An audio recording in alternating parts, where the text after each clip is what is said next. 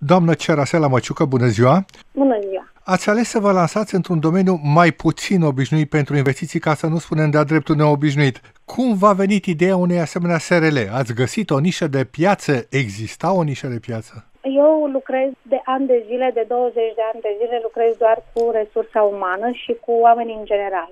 Uh, discutând uh, și lucrez într-adevăr cu o echipă de terapeuți, psihologi, oameni care la rândul lor lucrează cu oameni. Uitându-ne în jurul nostru, am considerat și ne-am gândit uh, de-a lungul timpului că ar fi nevoie ca toată această pregătire pentru viață, pentru a face lucrurile ca societatea să fie altfel, societatea să fie mult mai hrănită spiritual, mai hrănită moral, chiar psihologic, trebuie să facem lucrurile astea încă din copilărie. Cu acești oameni minunați pe care i-am cunoscut de-a lungul timpului, am hotărât să ființăm un centru în care să facem diverse activități, atât recreative cât și distractive, dar în același timp și pentru pregătirea continuă a vieții și a oamenilor. Cu ce bani ați început afacerea?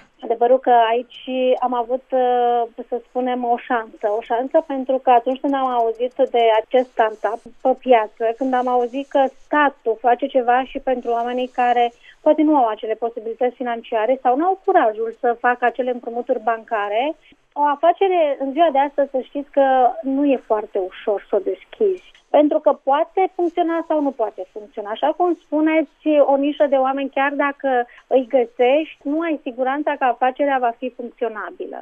Uh, și e un risc. E un risc. Mai mult de atât, noi nu suntem ca antreprenori foarte bine pregătiți și dacă nu ne-ar fi ajutat în momentul de față statul, ne-ar fi fost foarte greu, mulți dintre noi, să deschidem o afacere. Vorbeați de cei cu care lucrați. Câți parteneri sunteți în această afacere și câte locuri de muncă ați creat? Am creat trei locuri de muncă, așa cum uh, ne-au cerut cei din ghidul uh, startup-ului.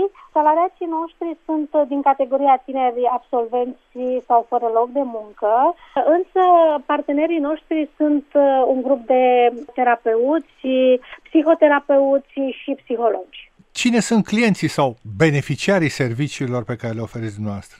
Beneficiarii am încercat să recrutăm din uh, toate categoriile de vârstă, începând de la copii, adolescenți, adulți și chiar cu seniorii uh, lucrăm. Pentru că undeva, dacă mă întrebați pe mine, problema o avem la copii tineri și seniori. Adulții oricum sunt preocupați în activitățile și în rutina de zi cu zi. Însă acolo unde copiii ar trebui să își facă, sau părinții să-i ajută să-și facă timp pentru anumite activități, și seniorii care atunci când uh, nu mai au activitate și au fost oameni foarte, foarte activi, cred că ar trebui să intre în aceste grupuri pentru a-și completa timpul uh, de acasă sau ceea ce au pierdut uh, după ce au ieșit la pensie. Da, și o ultimă întrebare. Ca întreprinzător aveți evident planuri de viitor. Ce sperați pentru firma pe care o conduceți? În primul rând, oamenii să înțeleagă că prevenția e mult mai importantă decât orice. Noi avem o problemă de a face prevenție în tot ceea ce înseamnă domeniul social, poate chiar și medical și ar trebui să avem mai multă deschidere, să nu ne fie teamă de a merge în diverse grupuri, așa cum se lucrează în Occident. Grupurile de terapeuți, tocmai pe partea umană și psihologică, lucrează foarte bine. Suntem un stat care am avut tot felul de probleme, am fost în tranziții, suntem oameni care nu știm poate să depășim și să gestionăm aceste lucruri, însă atunci când avem specialiști lângă noi ne va fi mult mai ușor eu cred că oamenii vor avea deschidere și vor înțelege că în momentul când uh, se văd împreună și au și specialiștii lângă ei, vor depăși mult mai ușor toate aceste etape din viața lor. Vă mulțumim foarte mult! Multă plăcere, vă mulțumesc și eu!